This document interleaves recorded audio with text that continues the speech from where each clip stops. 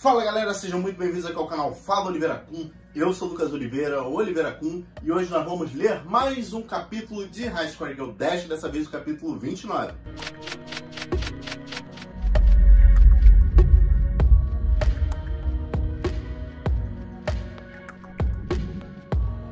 Galera, antes de começar a falar sobre o assunto do vídeo de hoje, eu vou pedir para você deixar o seu like, seu comentário aí embaixo, o que você achou e também deixar alguma sugestão se você tiver. E aliás, se não for inscrito no canal, se inscreva no canal, ative o sininho para receber notificação dos meus vídeos. Também me siga nas redes sociais e nas redes sociais do canal Fala Oliveira Kun, que é o arroba Fala Oliveira Kun, e entra no nosso servidor do Discord, link tá na descrição. E como eu disse, galera, vamos ler hoje mais um capítulo de High Score Girl Dash, dessa vez o capítulo 29. E High Score Girl Dash ainda segue sendo escrito pelo Renzo Kyoshikiri e lançado mensalmente no Japão. E como sempre, eu quero agradecer a página High Score Girl Brasil, tanto a página quanto o grupo que me dão um suporte maravilhoso lá, sempre posto meus vídeos lá quando eu lanço. E agradecer a Fábrica de Lutadores pela tradução do mangá. Com isso, vamos pro resumo do último vídeo de Score Girl Dash, do capítulo 28. E galera, Hidaka se motiva tanto no jogo quanto no amor, isso é perigoso. E ela vai à luta no fliperama derrotando geral em Mizonokuchi. E Haru, que não é bobo nem nada, viu que ela evoluiu e disse pra ela que eles têm que lutar em outros lugares agora, pois busca-se rival para Hidaka. A história acaba dando meio que uma reviravolta graças a Hidaka e sua apaixonite, e Haru diz que um dos seus sonhos é conhecer o Mickey. E o que eu e a Hidaka, e acredito que muita gente pensou, vão para Disneylândia. Tem uma Disneylândia em Tóquio, até falei sobre isso. E mais, um encontro entre eles. Seria um encontro, seria um date. E chegou na hora, a Hidaka toda arrumadinha, o Haru todo largado. Eles viajam de trem, acabam descendo antes do que deveriam realmente descer e adivinha. O Mickey, na verdade, era só mais um fliperama, o fliperama do Mickey. E a Hidaka simplesmente ficou indignada para não dizer que ela ficou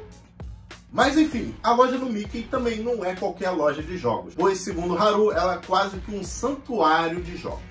E lá eles acabam trombando jovens a fim de uma boa batalha. Batalha essa que muito provavelmente vamos ver a seguir, então vambora, Lucas. Lê aí o capítulo. E galera, a capa do capítulo 29 que traz Hidaka prestes a dar um golpe cortante idiota e diz que o coração de Hidaka não está calmo. E galera, já diria Yu-Gi-Oh! É hora do duelo! Vai rolar o duelo, galera. Divertido, emocionante, feliz e confortável. Duelo de verdade. Isso é o que um dos esquisitos da região diz e pergunta se eles estão animados, pois vai rolar um torneio de Arts of Fighting 2 bem no bairro e o Mickey é um lugar especial onde eles sempre estão lutando, sem deixar de lembrar que os desafiantes do outro lado dos esquisitões são Hidaka e Haru. E também o esquisito continua dizendo que o Mickey é o lugar deles e que podem até se sentirem representados por esse nome. E o garoto tá empolgado, hein? E o outro tá meio bolado. E Hidaka sim putece e manda o moleque calar a boca. O menino fica com medo e chama a Hidaka de mulher temperamental e ainda diz que são assustadoras, que a barra de rage de Hidaka tá no máximo e que é melhor não usar o Taunt. E do nada, o Haru meteu que pode ver que Hidaka está empolgada e que isso deixa ele feliz e que ela é a melhor parceira que alguém poderia ter em um duelo de equipe, mano, do nada. Hidaka simplesmente deu uma cabeçadora do Haru, vem me dar cabeçada, e diz que se vão fazer isso, é melhor que seja rápido. E para ser franca, ela diz que a última coisa que ela quer é participar de um duelo bobo como esse, e que agora o que ela mais deseja é se livrar da frustração. Os moleques dizem: show. Bacana. E galera, Art of Fighting 2. Eu mesmo nunca tinha ouvido falar desse jogo e não se vê uma máquina dessa todo dia no Japão, aparentemente. Mesmo em Mizonokuchi é bem rara essa máquina. E Haru pergunta se Hidaka se sente confiante de suas habilidades e Hidaka diz que Haru parece bem mais decepcionante em relação ao quanto ele estava empolgado há pouco. E pergunta se ele está se sentindo como um gato assustado. Pergunta também se as primeiras lembranças do Mickey vão ser destroçados pelo próprio Mickey e que esse é o tipo de ferida que não vai cicatrizar e que vai atormentar o Haru. Haru diz que ela está certa sobre isso e pergunta o porquê ela não está sentindo essa pressão e se ela está tão confiante nas habilidades dela. Ela diz que o jogo é Art of Fighting 2 e que não é um jogo que eles praticaram. Mas Hidaka tem uma carta na manga E ela diz que não jogou esse jogo com o Haru, mas ela jogou quando estava no ensino médio. Ela diz que estava tão ansiosa para enfrentar o Haru em um duelo que ficou testando qualquer jogo que aparecesse na frente dela. E foi assim que ela conheceu o Art of Fighting 2 e não só o 2, como o 1 também.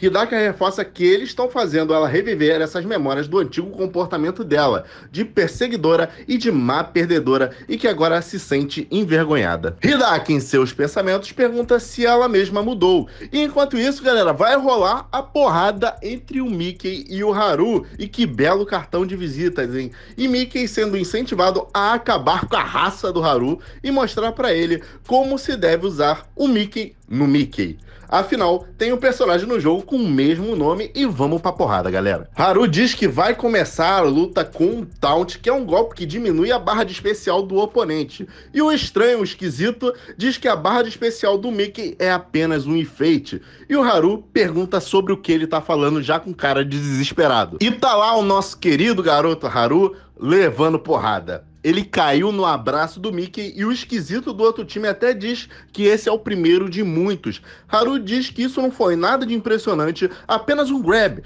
e se pergunta como assim o primeiro de muitos. E Haru vai lá e consegue tomar o segundo abraço do Mickey e não acredita. Isso também na minha terra é chamado de apelação. Mas o Mickey de fora do jogo diz que não se importa o quão rápido o seu personagem se recupere. Ele não pode fugir do combo do abraço e assim que se levantar, poderá pegá-lo novamente. Haru diz que ele fala japonês fluentemente, porque aparentemente ele não é japonês, e diz que isso é um truque sujo. E o esquisito confirma e diz que se Haru soubesse também usaria. E ele diz que não sabia que Art of Fighting 2 era um jogo tão cruel, enquanto a Hidaka só observa. Haru é provocado e tá levando a pior. E o Haru sabe que se continuar desse jeito, a primeira lembrança dele do Mickey será manchada para sempre e que ele terá que medir a distância dos agarrões. Ele até tenta um golpe, mas aparentemente deu ruim pro nosso querido Haru. Na página seguinte, Haru tá lá de novo nos braços do Mickey e vai ficar assim por um bom tempo.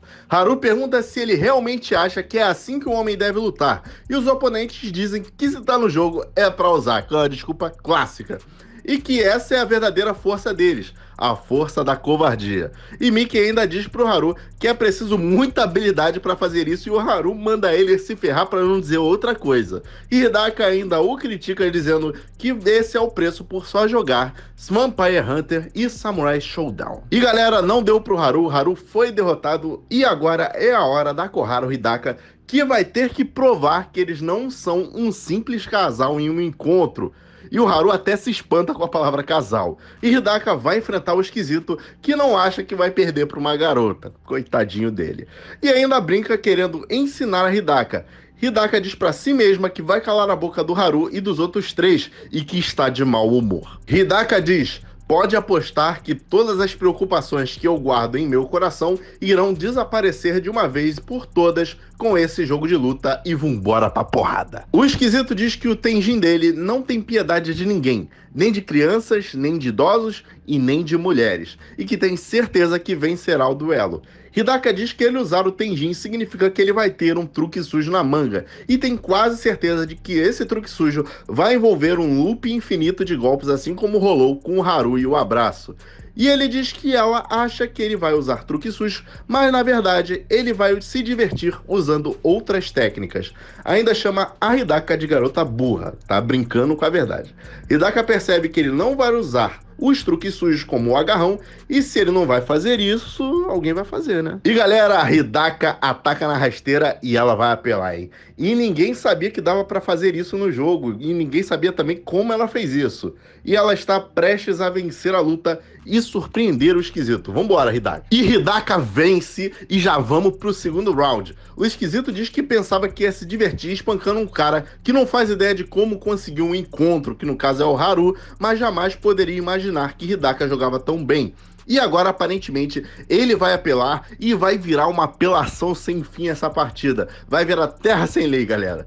Lá vai ele com um chute voador e o grab para cima de Hidaka. em looping, ele percebe um barulho e pergunta o porquê do barulho. E dá-lhe Hidaka, porque a Hidaka vence. Hidaka enganou ele, estava apenas brincando com ele e o derrotou simplesmente a maioral. Haru vai à loucura com a vitória de Hidaka e diz que ela foi incrível, que achou que ela tinha perdido suas presas por conta do vestibular, mas que pôde ver que agora elas estão mais afiadas do que nunca. Hidaka também se diz surpresa e diz que seus reflexos não estão tão ruins quanto ela pensava. E Hidaka vai fazer o duelo final contra o Mickey. Haru tenta passar confiança para ela e ela diz que é só uma competição de truques sujos, embora seja bom ser parabenizada por isso. E vamos pro primeiro round porradaria. E galera, eu tava me preparando para ler um round emocionante entre Hidaka e Mickey, porém não tem ele no mangá, simplesmente tiraram, mas não rolou a luta. Hidaka superou Mickey e venceu. E o esquisito diz que tem a total convicção em dizer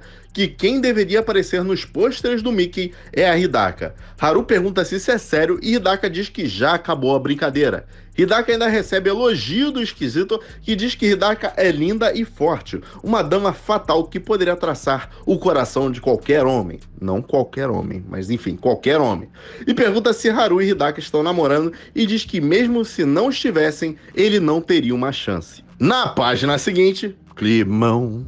Haru pergunta se eles acham que os dois formam um belo casal e que talvez o poder do amor verdadeiro tenha conseguido vencer este duelo. O esquisito diz que isso tudo, apesar do namorado, entre aspas, da Hidaka, estamos falando do Haru, ser uma donzela em perigo que não consegue fazer nada, e o Haru diz que isso foi só por conta dos truques sujos e dá aqui em seus pensamentos dizendo que até que para uma pessoa tão insensível fica parecendo que esse tipo de coisa o afeta demais. E ela tá falando do Haru. Enfim, galera, já são 11 da noite em Akihabara e os garotos do Mickey acharam Haru e Hidaka tão legais com a jogatina que perderam a noção do tempo. Haru diz para Hidaka que esse pequeno passeio pelo Clube Mickey para o Clube Sega de Akihabara foi mais proveitoso do que esperavam.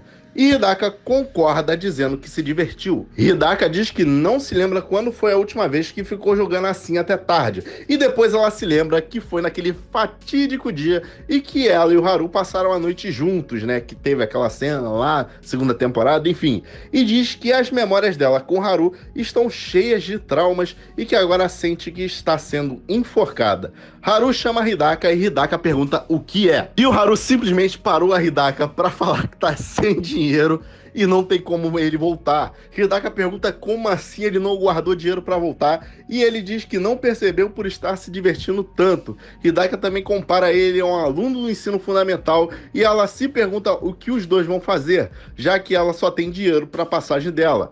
E Haru aproveita e zoa ela dizendo que parece que ela também se divertiu. Hidaka fala para o Haru deixar de ser relaxado e o Haru diz que eles deveriam ir para casa. Porém, a noite está apenas começando, pelo menos é assim que diz o narrador do capítulo 29, que se encerra e eu já tô ansioso pro capítulo 30. Vambora! E é isso, galera. Esse foi meu vídeo lendo o capítulo 29 de High Score Girl Dash. Se você gostou, deixe seu like, deixe seu comentário aí embaixo dizendo o que você achou. Também comente alguma sugestão se você tiver. E, aliás, se não for inscrito no canal, se inscreva no canal e ative o sininho para receber notificação dos meus vídeos. Também me siga nas minhas redes sociais e nas redes sociais do canal Fala Oliveira Com, que é o arroba Fala Oliveira Com, tudo junto, tanto no Instagram e no TikTok. E também entra no nosso servidor do Discord, que o link tá aí na descrição. E até a próxima.